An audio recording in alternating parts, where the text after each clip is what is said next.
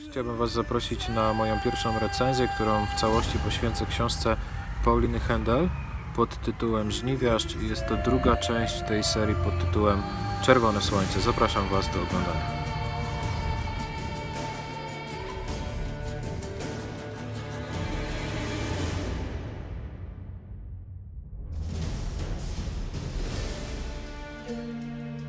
Rzecz, na którą warto zwrócić w przypadku Żniwiarza dwójki, to jest oczywiście sposób, w jaki ta książka została wydana.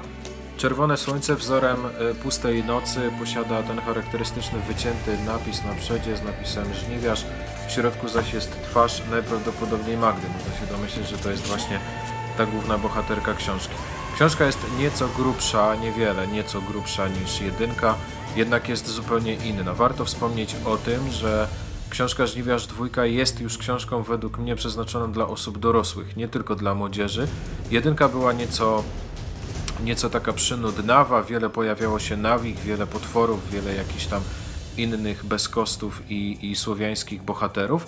W tym przypadku mamy jednak do czynienia z bardziej wartką akcją. Z czym ona jest spowodowana? Na pewno tym, że główna bohaterka Magda zupełnie się zmienia. Magda, którą znamy z pierwszego tomu, to jest Magda grzeczna, Magda miła, Magda, która jest zabiegana, zatroskana o Feliksa, o dom, o to, żeby było co zjeść i w co się ubrać. Ta Magda, którą spotykamy w drugim tomie Żniwiarza, czyli Magda, która przyjęła ciało Oliwii, dziewczyny, która która umarła, zaś Magda wraca w jej ciele jako żniwiarz, jest osobą roztrzepaną, osobą, która nie dba o wiele rzeczy, osobą, która tak naprawdę w głowie ma tylko jedno zemstę nad pierwszym.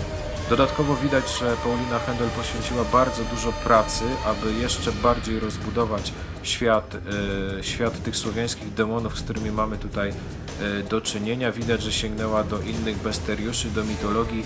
Pojawiają się nowe postaci, takie jak bezkosty, jakieś inne upiory, które są coraz silniejsze. Oczywiście nie będę zdradzał dlaczego, bo to jest kwestia, która wyniknie już e, z treści książki.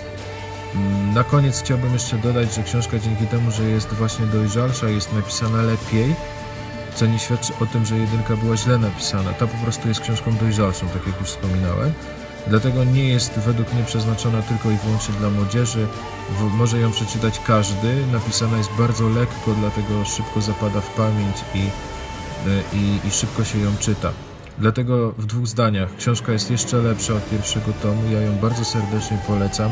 I jeżeli tylko i wyłącznie macie jakie jakiekolwiek wątpliwości, to musicie je natychmiast rozwiać, dlatego że druga część Żniwiarza, jako że jest jeszcze lepsza od pierwszego, jeszcze bardziej zbliża nas do świata mitologicznych e, stworzeń, mitologicznych demonów słowiańskich i dzięki temu powoduje, że razem z Magdą i Feliksem oraz Mateuszem chcemy stać się żniwiarzami i walczyć dalej z tymi, którzy dokuczają ludziom i którzy stają się dla nich jakimś problematycznym zagadnieniem w świecie współczesnym. Polecam żniwiarzom dwójkę bardzo serdecznie. Trzymajcie się, cześć.